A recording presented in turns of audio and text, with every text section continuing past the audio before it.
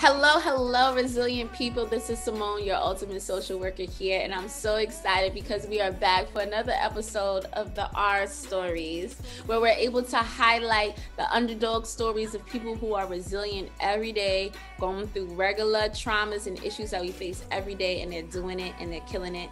And I'm so excited because in this episode, I got my friend, my soror, my uh, my co-worker from a distance in education because if you're an educator for the new york city department of education we all co-workers because we all going through similar things right now um, and i'm so so happy that she's here to share her story social worker, educator, therapist, author, founder of Resilient Young Minds Inc. I'm passionate about serving and developing at risk youth into resilient ones while coaching adults through their healing. This podcast is my way of honoring youth and adults who have overcome their trauma while still inspiring others. I am the ultimate social worker, and this is the R Stories podcast where your resilient story matters. Take away the pain, take away the hate,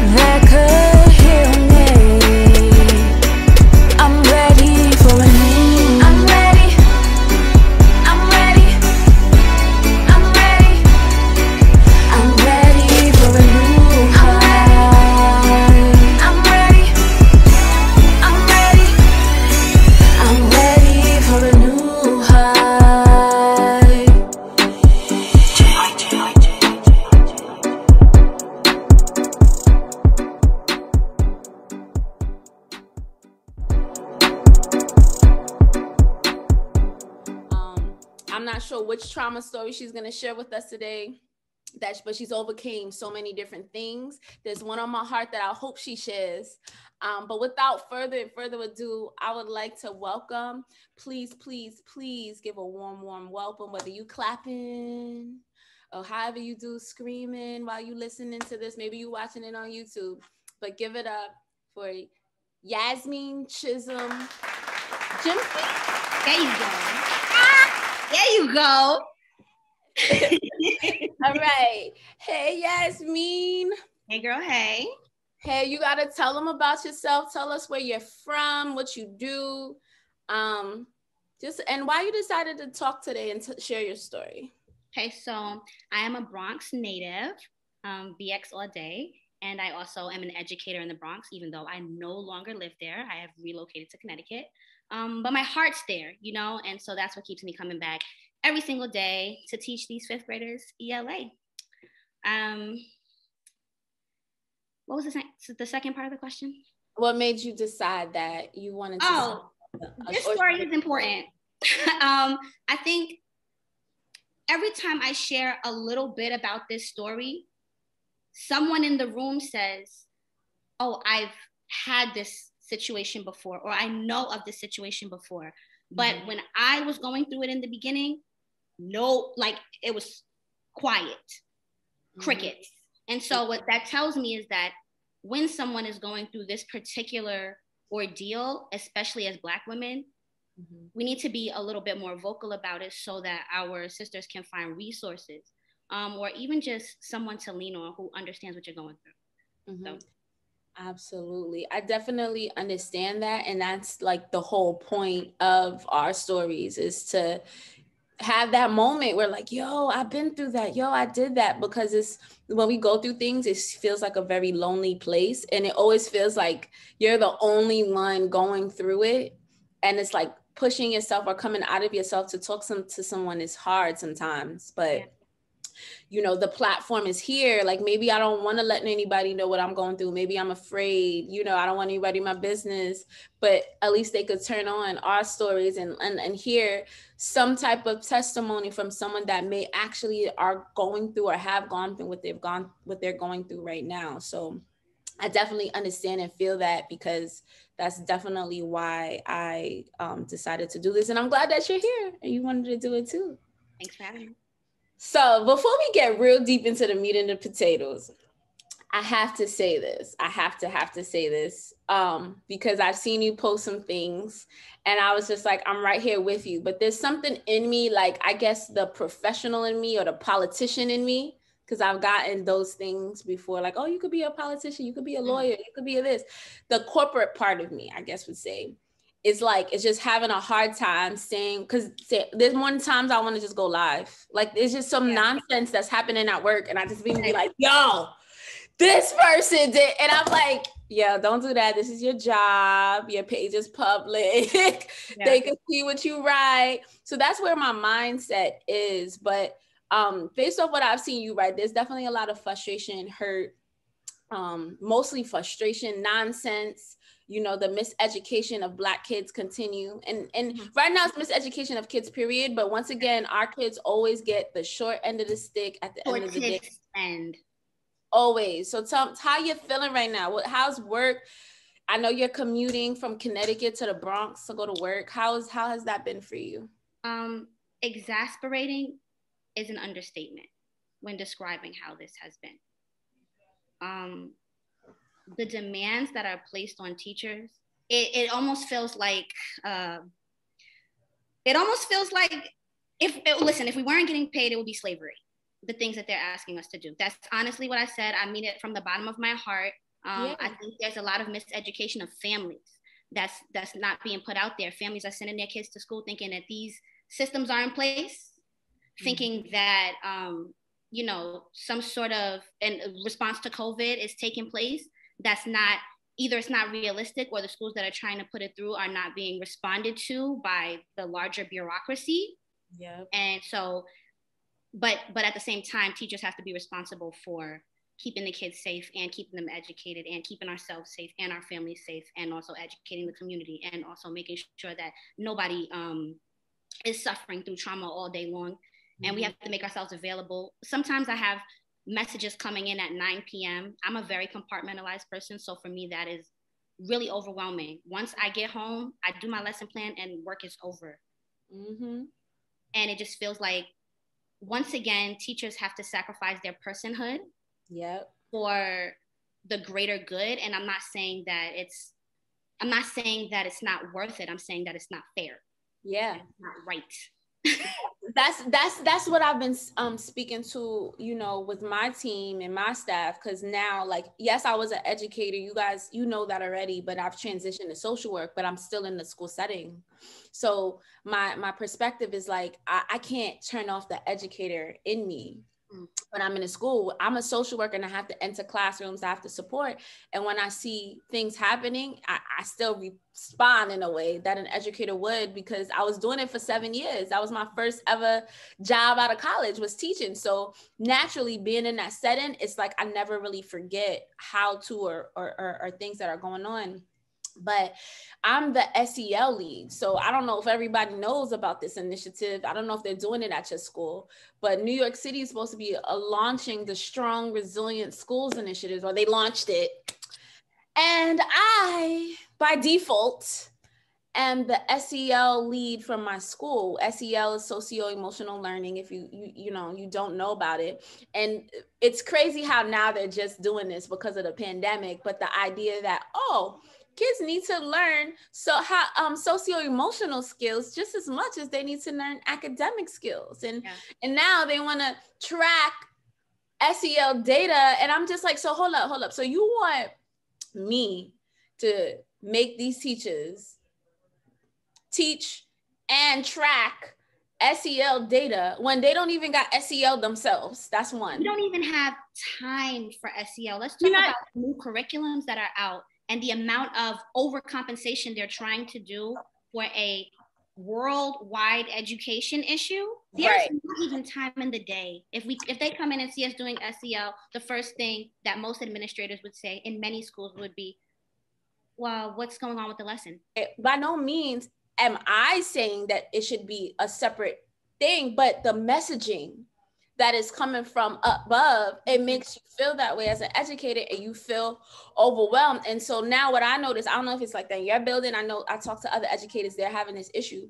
It has shaken the culture um, in the school, like the morale and the rapport amongst each other as adults because the frustration is festering and it's coming out.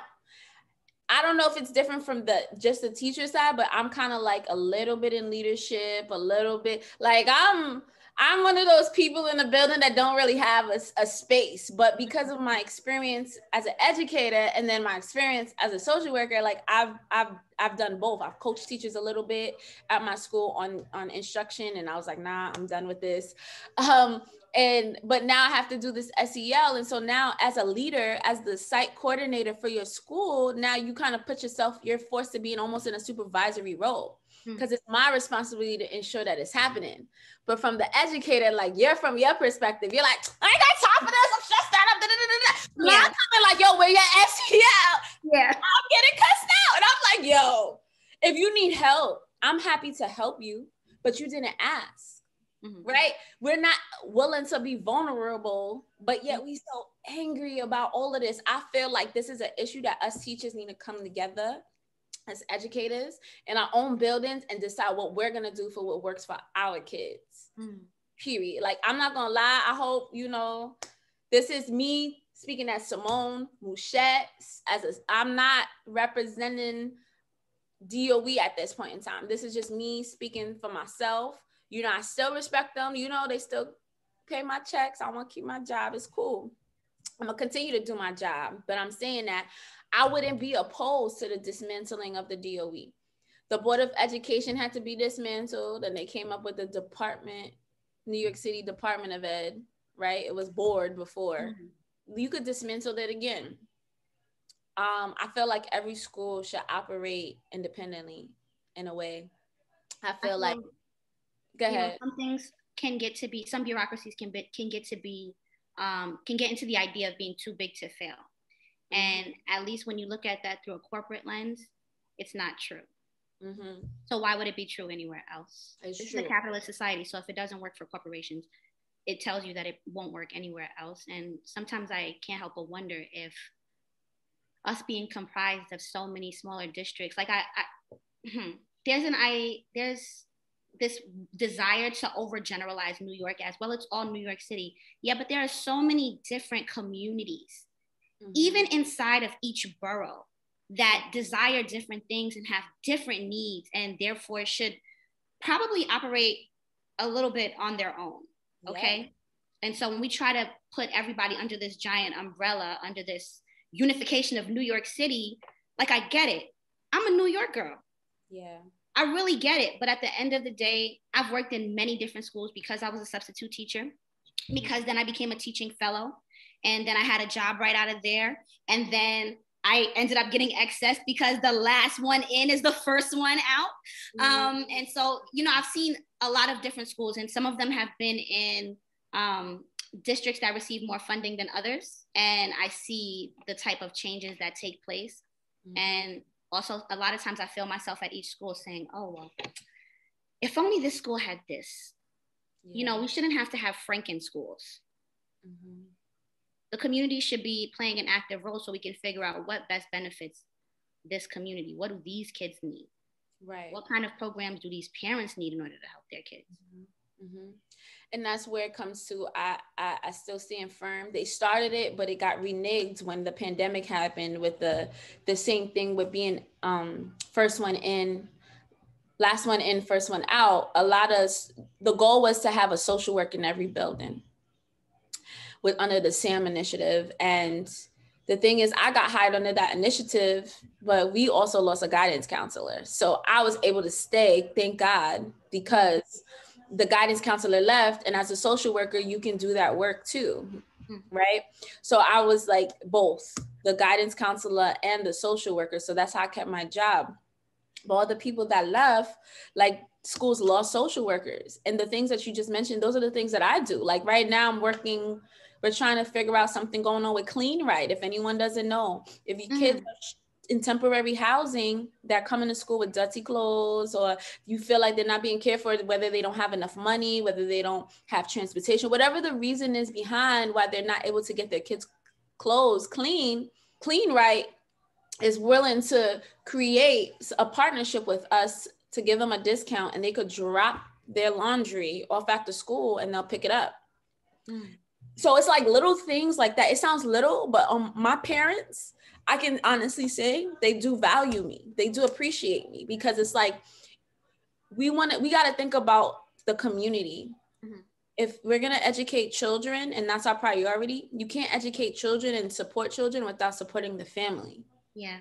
Because that's who's raising the child primarily. And we can't do anything with a child without parental consent. So it's like you it's not you got to go deeper than just looking at this one kid in my building. You got to see it from that community perspective. That's why I love um, the community schools idea. Yeah. You know, I know that um, who is it Geoffrey Canada and i think it's in harlem has a school where they do that really well with the community aspect that's what i think that we need to start moving and then to be easier to do it one by one because each school will understand that community and can service that community's need i've done family therapy at my school with mm. students because they come to school sad and depressed because of things that happen at home, not in the building. So if I'm going to support this child, I got to get their parent in on this session so we can rectify this problem to help this child. So it's it's so many layers and it's deeper and the pandemic makes it worse, but it exposed everything. I don't even feel like it's worse. I just it just exposed the nonsense. And now that it's something that affects everybody, like you said, staff member, like we got families too. Yeah. My health is at base too. So you, now it's getting to the point where, like, oh, even if your home test says positive, still come to work. What? So I'm I'm like lost. To me, it's just like when we had a cold, that's what y'all used to tell us, right? Come to work anyway. Yeah. All this is saying is if you're sick, stay home. That should have already been a thing. But we, like you said, we live in a capitalist society yeah. that doesn't value the person individually they value the money so yeah. if you can make your money while you sick that's what the expectation is and it's, it's it's disheartening and it's heartbreaking because it's this never ending cycle but I'm, I'm i'm gonna put a pin in it. I just was like i need to talk to somebody. I've been feeling to have this conversation about what's been going on and i've been quiet about it quiet quiet. Like it's it's on another level. Yeah. It's on another level. But um I'm glad that you're still here and you're still doing it because I'm I'm we first- may be having another R Stories conversation next year, girl. Because okay. all right. okay, okay, okay, because might be my time. but this is my seventh year, you know. But I but I applaud you for making it seven years because the thing is is that people don't make it that far no more. The first year teachers be out. Yeah, yeah. I was just explaining that to someone. It's so intense it's so intense. I really feel bad for these new teachers. Yeah. Because what they're being asked to do is not what I was asked to do just a short seven years ago. That's a fact. It's a fact. Mine is 10. When I when I became a teacher, I didn't even do edTPA. Girl. My class was like the last class. They were like, they want to switch. Do you want to do it the old way or the new way? I was like, the old way. I had to take my test a year early to be able to get certified under the amen old. to that because the edTPA was not a joke and even though it helped me build my 10 year binder it was very very very intense process that took me a really long time to do. But you know what? I did relay and we had something very similar to that but it just wasn't as like excessive. Because i think tpa has to be around 80 pages or something like that. That's what i heard. I don't know. I didn't do it. It's long. Some of it is just is just filling in, bubbling in questions and stuff like that. But then other parts, you know, you have videos and um, data that you have from your kids. And yeah, okay, so that makes sense. Like for Relay to graduate their master's program, we had to do that anyway. It was called a master's defense. Mm. And we had to have evidence of different strategies that we've used to support kids. Um, how did we do the data? All that. Mine came in 30 pages, but we had charts and all that stuff to demonstrate the data. And we had to stand up and give a presentation, you know, show our videos and stuff like that. Yeah. But it, I don't know, edTPA just seemed more like tedious than than what I experienced with relay, but relay that was a part of their thing regardless before TPA was a thing. So I guess that's what made it feel easier. But I felt bad and I let my in, in January last year, I let my certification expire. So I'm no longer a certified educator. I let it go because I was like, Lord, I hate teaching. Mm. I, I, don't hate kids. I don't hate teaching children. I just hate the bureaucracy and all that other stuff. I, I, I don't like the demands of lesson planning. I don't like the demands of of you know someone observing me and they want me to teach the way they teach, but they're not here every day. I, I don't want to. I, I I'm I'm over all of that aspect of it why I left teaching in the first place. But I had wanted to have a backup. I wanted to have a cushion. Like, you know what? If this social work thing don't work out, I always got my teaching degree and I'm in a school. So but the more I, I was like, no, I'm a social worker and that's that's what I'm called to be. That's what my assignment is. I'm meant to be in a school, which just could have been like the confusing part. Mm-hmm. But I'm not. And I let that, I let it go. I yeah. let it go. I, have had so much trauma with teaching and, and all of that. I just let it go. So I'm just a social worker now. It's done. They said I would have to start over. We know we not I'm not doing that. No. All right. So let's let's get into the trauma piece. Let's get into the trauma piece. Thank you for indulging me in that conversation. Right. Um, but um, so tell us what was your most traumatic moment?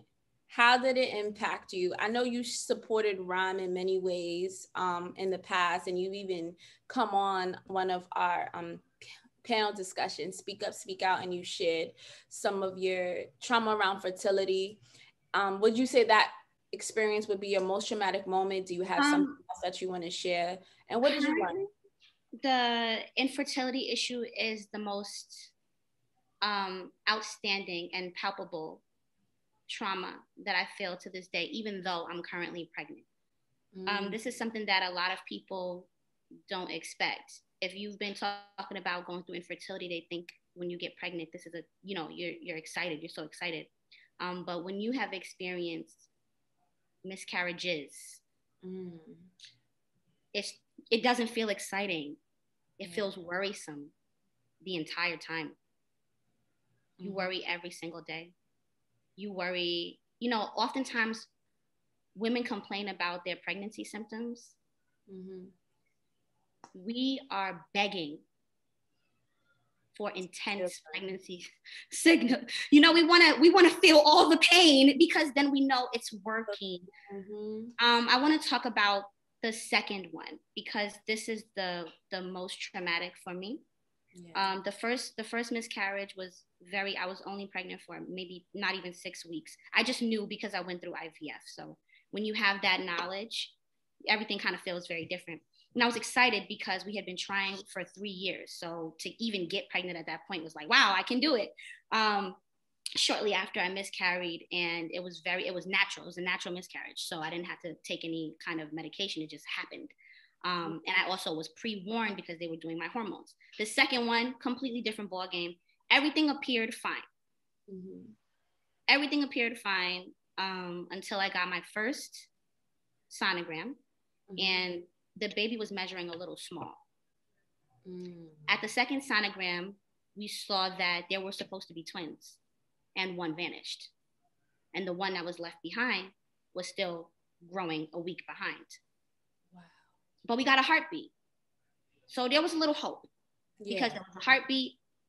Um, and then we, I went to see a different kind of doctor because I just, at this point, you get so like obsessed that you you go to get that second opinion mm-hmm. second doctor's like everything is going to be fine you'll be fine and then i even reached out to one of our sorors who's an OBGYN and I asked her what is the probability of this? Because now I you know when you get into this this space in your life if you have to be in this space in your life you start taking on all these jobs you never had before.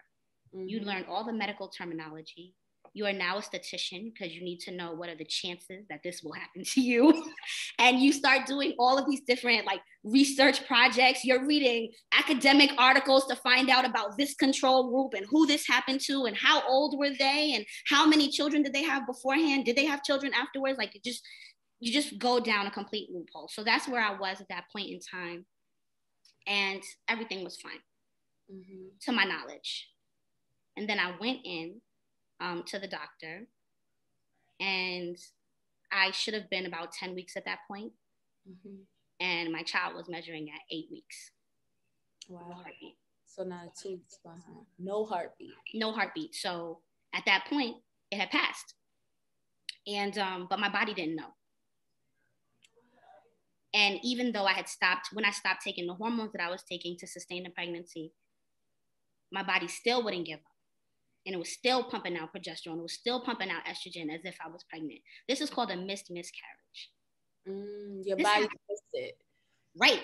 Your body just missed that there's a miscarriage going on. Your body is convinced that everything is, is going according to the plan. And it's going according to somebody's plan, but not yours. So how did you know that that happened? Only at the doctor's appointment you found Only at the doctor's appointment. So that week before the doctor's appointment, I took a trip to Chicago to see my sister. She was graduating. It was great. I was sick the whole time. Mm. I was nauseous. I was exhausted. I was moody.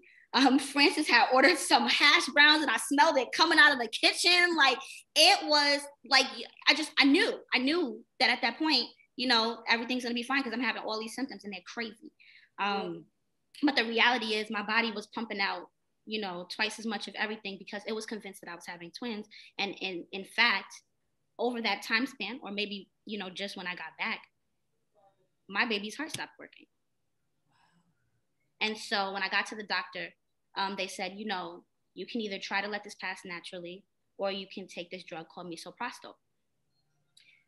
This is, misoprostol is not a joke. There's no words that I can use to describe misoprostol except for the fact that the doctor said, you want us to write your prescription for Valium. I don't do well. Is that like the abortion pill? yes, it is.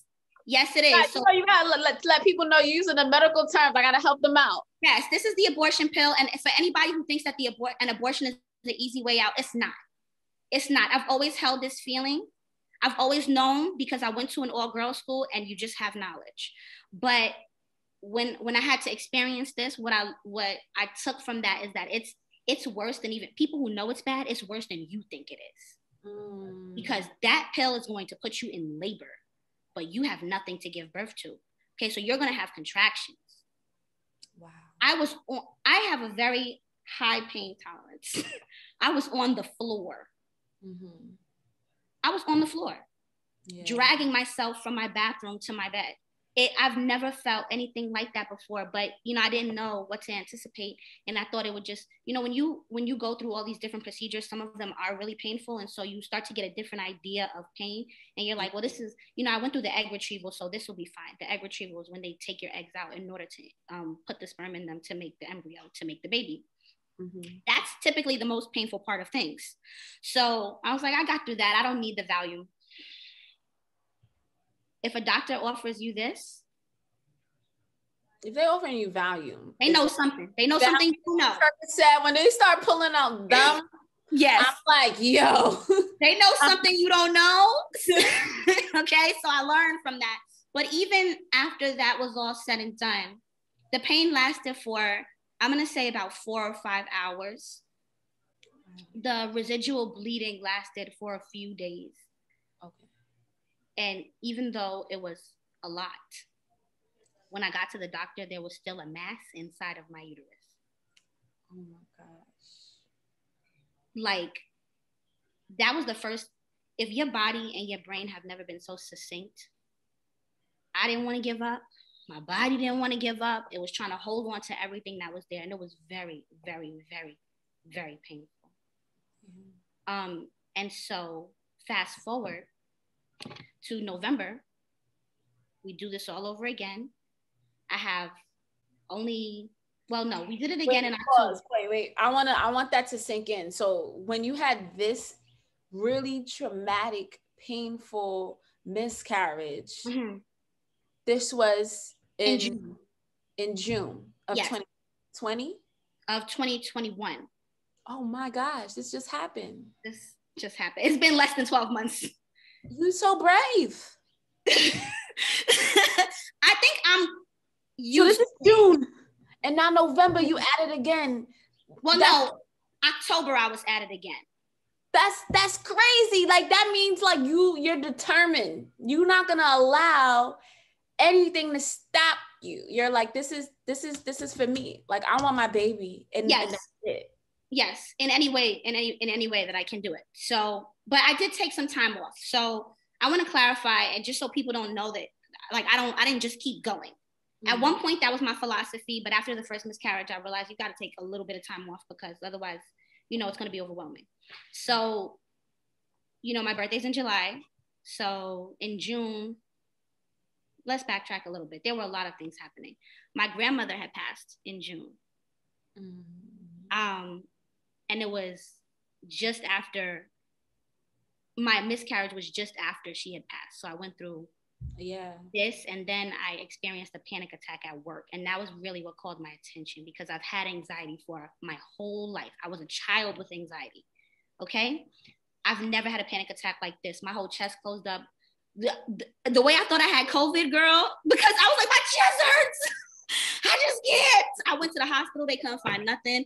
I was like, no, you're not looking. You're not looking because I'm a black woman. You need to look in here. Do all the tests. They didn't find a thing. They didn't find a thing. I had mm-hmm. another anxiety attack, a pa- panic attack later on in the year, and that's when I that's when it dawned on me that it was a panic attack. So at that point in time, I said I got to slow down because something is killing my body. I don't know what it is. I'm gonna slow down. June, you know, the school year's almost over. We need to plan a trip. So we took um, some of the money that we had been saving up, and we just took a trip to Puerto Rico. Me and my husband. And um, after that, we took a trip to South Carolina. and then we took one more trip to DC and just tried to get away and have fun and just enjoy like you know last year i turned 30 trying to enjoy being 30 um, and enjoy this place in my life and you know like there are things to live for you know what i mean this is a traumatic situation on top of another traumatic situation but i needed some motivation to keep going a little bit like you know you got to give yourself a little self care. sometimes It's called a little self care. You needed it. self-care And you needed it to, and you needed the self care to equate the level of trauma yes you needed. Because some of us, we'd be like, "Oh, I did a little my nail." Like, no, you have to Right. Sure the self care matches the level of of healing that you need from the thing that you're trying to self care from. a warm bath and a face mask wasn't going to do it. Exactly. so so um when we got back in september september is really when we went back to the doctor and said okay we wanted to see how everything is going. Um and the mass was still there. Um and so i had to go in and have surgery for them to remove it. Um that you know wasn't too scary because i've had surgery plenty of times in my life so just wasn't a big deal. Afterwards everything was looking good and doctors love to say this thing like you have a good uterus. That means nothing to me. What, what are we doing with that? That is useless information. But they're like you know you just we'll just try it again. So we tried we did another embryo transfer rewind in the ivf the first ivf we only got one embryo out of it. Mhm. so that miscarriage was extremely painful because i knew i was going to have to do ivf again and it's a long process could you just briefly like touch on the IVF process? Because you're um some of my other friends have done it, and I know like you have to like once you inseminate the semen into the egg, you still need to wait for a viable yes egg to to Yes. be. So like if you could just really quickly just touch on that so they can understand why you only had one. Okay, so here's the thing. Um, my condition is um, polycystic ovarian syndrome. And so I have many, many, many eggs, but they're not growing. They're not growing the way that they should in order for me to go through ovulation naturally to be impregnated naturally. And so they just kind of sit on my ovaries and build up. So what happens with IVF is that they give you all of these medications to push your eggs into growing. Um, and this works for many different people, not just people with PCOS, but it was ideal. I was an ideal candidate because I had so many eggs that the idea was that they would be able to extract many of them and inseminate many of them. This time, um, I learned that the brand of PCOS that I have is brittle. And so some of my eggs are going to grow huge and some of them are not going to grow at all. and trying to get a good number can leave you hospitalized because if you if, if you have too many eggs growing at the same time and they're all really really big then when they go to extract those eggs, they have to flush you with some water that leaves you swollen and you get ovarian hyperstimulation syndrome. Um, that's just when your ovaries are hyperstimulated or uh, swollen. So anyway, um, after that, they take the eggs out, they put the sperm in them, and then you wait a couple of days, three to five, you get some embryos. I got one first time, five the next, no, eight the next time, five good ones. Okay. From which I had the one pregnancy. I had another uh, one that didn't didn't uh, implant, and another pregnancy, and two of them that didn't make it or something like that. So now I'm pregnant with one, and I have one left over. Okay. Um, I didn't think it was gonna work, but you can't really get um, you can't do the genetic testing unless you have three miscarriages. So yeah. You gotta have more trauma. Yeah, so you have to have more trauma in order to get help for the trauma that you have. So, so anyway, what I learned, um, well, I didn't really think about the trauma of all of this until I got pregnant this time because this time I spent so many weeks on edge, even when nothing was wrong. We went in, the embryo was measuring the way that it's supposed to, and we saw a heartbeat. The first, the first, the first uh, doctor's appointment. Mm-hmm. But I was still like, I don't know. And even my husband was traumatized, and he's like, I don't know, I don't want to get happy yet. So we weren't telling people because when you tell people, they're like, that's so exciting. It's Mhm. not. it's not.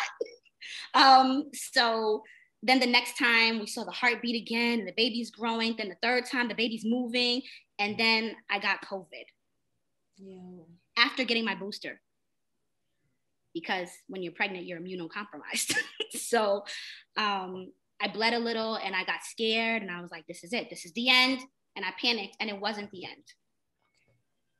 It was not the end. I was end. scared for you.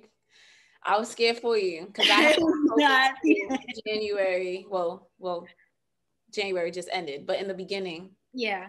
so like I was just like, because I didn't go to a baby shower like after. I mean, I was good at that point, but I was like, uh, it's still kind of close. I don't really want to go, and you know, Yeah. that's that's scary. And, I, and like you said, like I, I didn't experience that, but because I know you, I know some of your journey, and I know how much it means, and I know how crazy COVID is, and it's just all of that in my head. I'm just like, Yeah. Yeah. for you because I, I definitely like can understand at least. I don't i can't relate yet but i could definitely like understand the where your fear Mhm. was coming from. So how did you how did you overcome it? How did you come on tell me. Well, like i'm cringing i'm cringing i know you're pregnant now but i feel like it's a happy ending to the story I'm pregnant now and I'm 15 weeks pregnant today. So the chance of miscarriage is now less than 1%, yeah. even for somebody like me who has PCOS. So that's really, really good. Um, that chance decreased around 12 weeks, but I was released from my infertility practice at 10 weeks because all you got to do is take meds for the next two weeks, do it on time, and you'll be fine. Um, and so I, ironically, right after the COVID situation, I went to the doctor and they were like, all right, well, you don't need to see us anymore. Go get an OBGYN. So um, since then, I've spent more time. I have an additional Instagram page. This is not a plug unless unless you want to follow this kind of Love it. What's up? if you want to plug it. Um, it is uh, devoted to my struggles with fertility and also the celebration of where I am right now. And on this page, I follow a bunch of women around the world who are going through a similar thing. Um, and that's really my way of dealing with the trauma of being pregnant after infertility and pregnancy after loss, um, which comes with a compounded trauma because then you don't know if you're going to have your second, right? And I do want more than one child. So, um, following these women helps give me what I'm trying to give right now to others, which is a community. Um, and but yeah, a community. Mm-hmm. That that's my way of of dealing with this trauma is being in fellowship with people who are also going through this too. Yeah, yeah. I really love and appreciate um, that you mentioned that and that was your way because I did I do know that every opportunity you have, whether it was to speak to another woman or to speak on a platform, you've taken it and you didn't you didn't hesitate, you didn't question it. And I definitely applaud you for that because us women need people like you. And I don't want to get emotional, but I remember when I asked um you to speak on the Resilient Young Mind Speak Up panel when we were doing women's health. Um, and that's on YouTube. That's a plug if you anyone wants to go back and watch it. It's on YouTube, Resilient Young Minds. Um, but I remember us doing the the the panel, and it was you, it was Karen that I hope that I'll get on in a later show, and um, it was Janelle, and I think Bianca did a nursing piece where she was explaining like the different common silent um, um, conditions i didn't want to say disease conditions that um, women face that can um, impact fertility. And that as the facilitator like it really impacted me because I, I was motivated by it because i started to see women around me sharing with me their stories and they're struggling with it. Ultimately, because of me, I'm a social worker, I'm a therapist. I understand that's my gift. People like to tell me the business and things like that. But I didn't know how to like tell you that, oh, Karen is going through this. You should talk to her. Right. So that's why I was like, let me do this little panel because it's deep. But it, it became even more deep because when you ladies sat up there and told your stories and told us the symptoms, that was in October, right? Because breast cancer month is in October. Mm-hmm. He did it in October, right? And I noticed from the summertime in August, there were differences in my body that I didn't like and some of the things that you ladies had said you were like nope that's not normal. Nope that's not they want to tell you that it's that's how it's supposed to be. It's not. You're not supposed to do this. You're not supposed to bleed in between. You're not supposed to da da da da there's not spotting is not a real thing. Something is wrong right? And i remember that. And i was like you know what? I'm gonna go to the doctor because i wasn't feeling right like something was wrong. And so in january i was like it was the week of my birthday and it was the week of my 30th birthday too and I was planning, you know, birthday things. You you spy or whatever. Like you know, when you plan things for your birthday, your period is not something that is invited. The period is never invited. Never invited, but she will show up. but she want to show up when she want to show up, right? But so that week I'm like tight, right? Because it's early. It's not even like you showing up. It's kind of like early. But what's messed me up was that I had my period in January already. So she wasn't even a factor. So this is three days before my birthday, which is, you know, towards the end of January. And I'm having a whole, like, I started bleeding at work randomly. And I was like, what is this? Panicking. I had called um my I had called Karen at the time because she's a little she's closer. Yeah. And I was like, I don't know what it is. She was like, Are you stressed? Are you? I was like, I'm always stressed. That's true. It. Like that true. can't be the fact that I'm always stressed. That's not it. They're like, maybe you lifted something heavy. I'm like, yo, you know who I'm talking? You talking about Simone right here, the Miss Independent, always want to do everything by herself, mm-hmm. all of that. Like, so I was like, all right, I'm gonna take a breath. She was like, we're gonna go to urgent care. I even know there was OBGYN urgent care.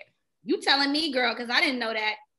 this and this is why the community is important, right? Yeah. Because I felt comfortable calling her because of that panel, right? Even though, like, okay, yeah, she's my friend, but I have a, you know, there's people that I consider to be friends, but I didn't call them, right? I didn't even call my mom because yeah. my mom doesn't have experience. You want to call someone who who you know can either empathize or help.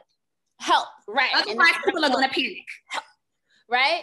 And so we went in there and we went to the OBGYN and urgent care. They took me. I was like, this is okay. This is nice. Good to know. And um, she was like, when you go in there, tell them you want a sonogram, period. Mm-hmm.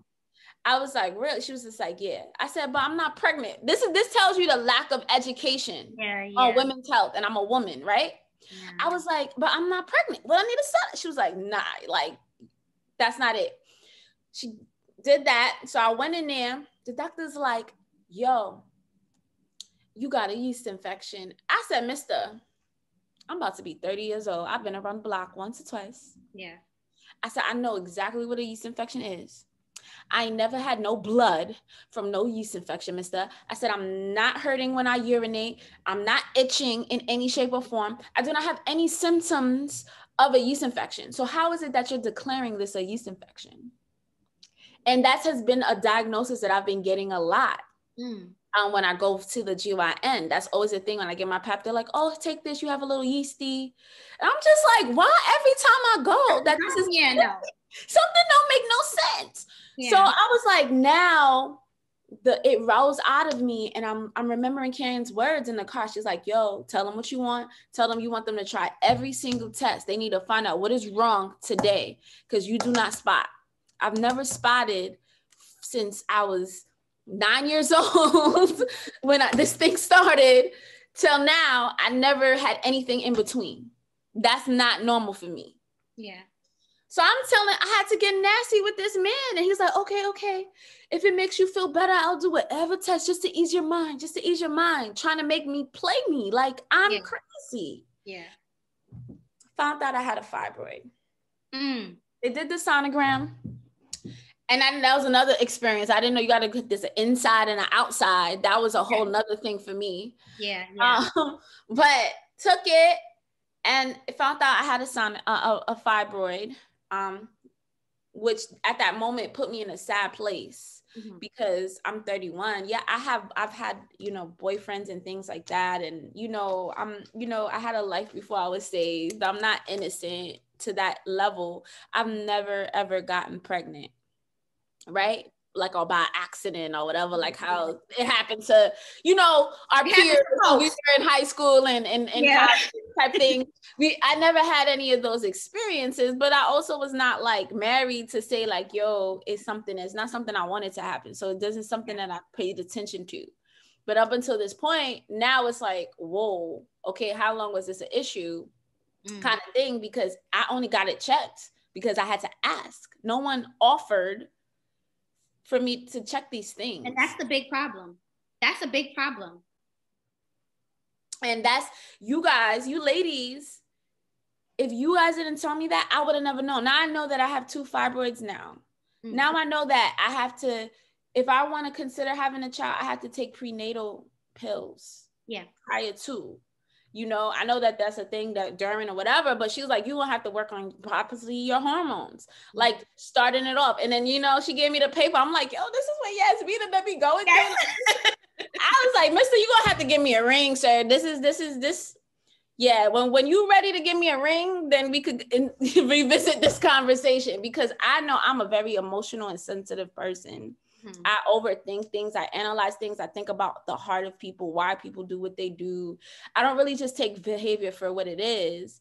And I know people don't react that way, and they like, especially not you know towards me. And I could be very emo, and I need a partner that's going to be supportive through that process for me to be able to to cons- even consider anything and you're gonna have to be my husband because this is not gonna be something that you're gonna walk away from Girl, i'm yeah. gonna tell you straight up even on the financial side, like a lot of people don't think about that. Um, you need someone who has insurance, and sometimes it's best if y'all have different insurances so you guys can be each other's secondary because this stuff is yeah okay. So, but shout out to the DOE for having a really great infertility care plan, minus the situation with the three miscarriages. she said minus this part I haven't, I haven't spent twelve thousand dollars, so I'm happy about that. it was getting a little expensive, but uh, I didn't know all the all the things. Now I know some things, and I'm like, all right, hmm Yeah, but I, I, definitely appreciate you uh, uh, sharing and telling. And I said I was like I got to tell everybody. Like I learned it from you, ladies. If you got ladies that didn't share it and speak about it, and this is why it's so important for us to talk about it. It hurts. It's painful. We may cry. I don't even care. We could cry all day. But the um, if schools, if doctors, if society is not educating us, right? Whose responsibility it is. It's up to us in our community to take care of each other and and look out for each other and educate each other. You know, each one teach one, one hand watches the other. I scratch my back, you whatever metaphor, term, cliche you want to use. yeah. It, it it doesn't matter. It still holds true at the end of the day. And I'm thankful for the community and I'm thankful that you're in the Ron family. I consider you a part of the Ron family. You were a panelist, you know, you share your story, you know, you've overcome, you've been to both galas so far, you know. I consider you a part of the Ron family. And I think all the, I think in the beginning, it's gonna be the Ron family members that are gonna be sharing their resilience stories because it's it's starting with you all to build that greater community of yo, we all go through trauma. You're not alone like, let's talk about it. Yeah. We'll, we'll figure it out. It's gonna be okay. Let's let's just talk about it. Thank you so much. I want to lighten up the mood because that was heavy. that was heavy. That was heavy. I, uh, let's lighten up the mood. I want to play a little game with you since you're ELA teacher.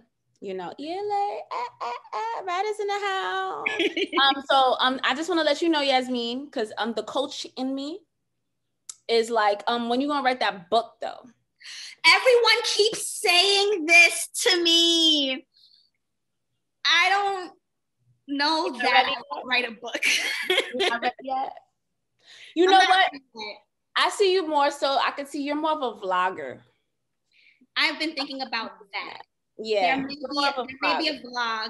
There may be um, an Instagram. The Instagram page may grow in a sense of just uh, creating that space for my experience to be m- memorialized so that people can look back on it. But I'm not. I'm just not sure how I want to organize it yet, and I'm very analytical in that way.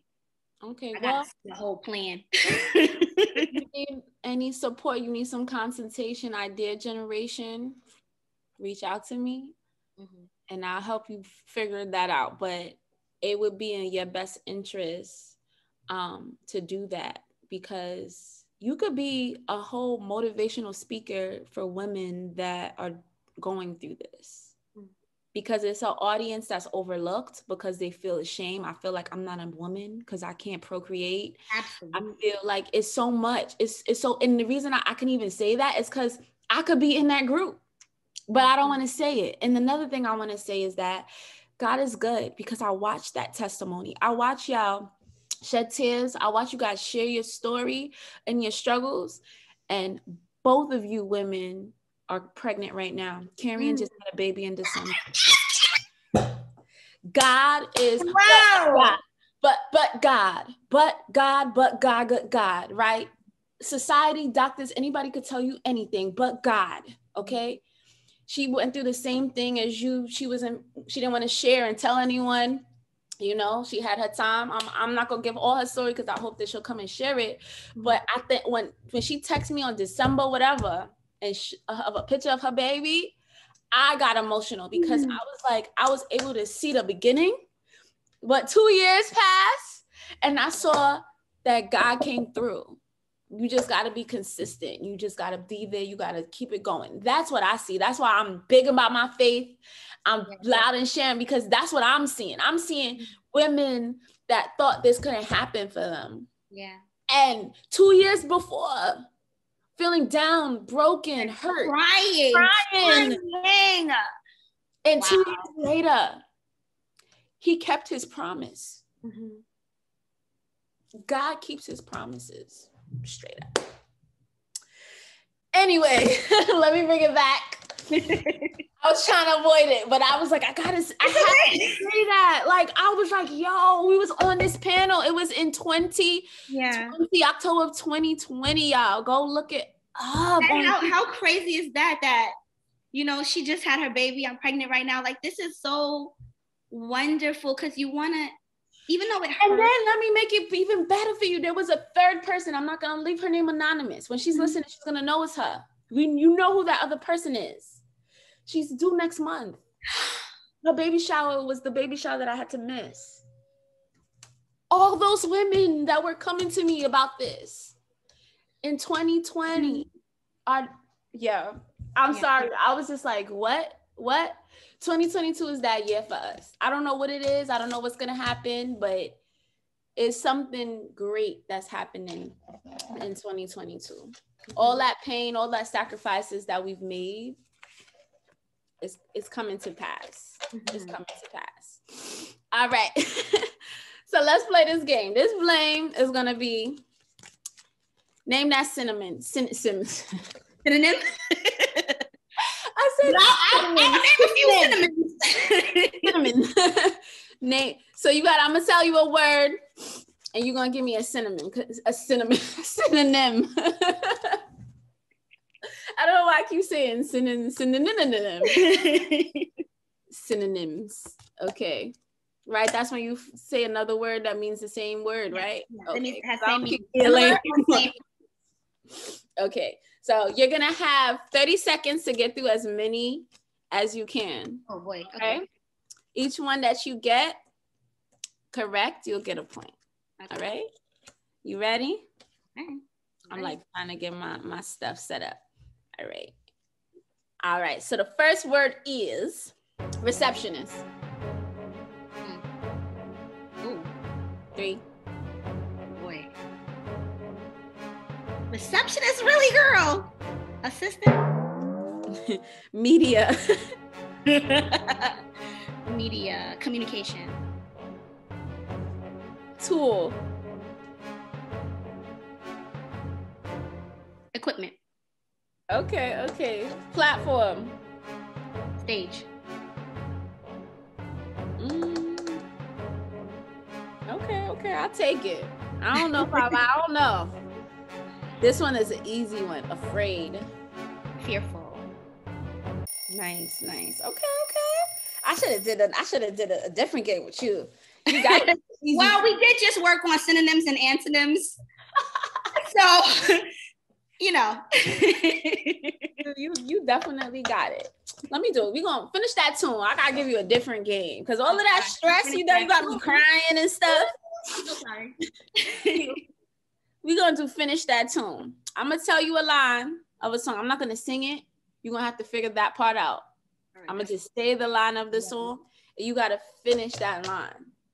Okay? You ready? as ready as I can be. All right. You ready? Okay. We were lovers through and through. Oh. I know the song, but I don't know the next lyric. you know, some some stuff you just hum to and some stuff you sing the lyrics to. Mm-hmm. Okay, those. got you, got you, got you, got you. Go, go, shorty. It's your birthday. you got that one. It was all a dream. I used to read Word Up magazine. Good job. Okay, okay, okay. You know, little Brooklyn. But that one is a little tricky because I feel like it was all a dream is in like five different songs. So really, I, I was just relying on the Brooklyn of it all. You already know. You already know. Brooklyn, home of the greatest rappers. Big comes first. All right, let me stop. Yes, thank you so much for playing and playing along. It wasn't as intense. You nice. You got that. You got that trivia spice to you. I'm jelly. no problem. All right. Say that one more time. close up. No, I said you got that trivia spice. Like you have Oh, your yeah, good a little, at a little. those type of games. Like you really like on it. All right. I thought I was gonna get you to struggle a little more. Thank you so much. So right now we're gonna start winding down our conversation, and I kind of just, you know, before you leave, I would like for you to share um, one piece of advice that you would be that you wish someone had told you when you were younger that would have impacted a decision that you have made that you could share with someone now Regarding regarding this situation that we spoke about. It could be anything it can be but it could be anything just you you're a whole person right now and all your experiences help to make the person you are right now and in all those experiences what would you tell somebody that you wish someone had told you when you were younger Um, the doctor is not the evil villain. mm. As a kid, the doctor was the evil villain of my life. Mm. What do you mean You by know, my mom had to do a lot of prep work. So I'll share a, a micro story. okay Okay. When I was really young, um, I was I was very afraid of needles, um, like most kids. But because I have anxiety and had it as a kid, it was very intense. And so my mom had to read me this book about one of the Sesame Street characters going to the doctor.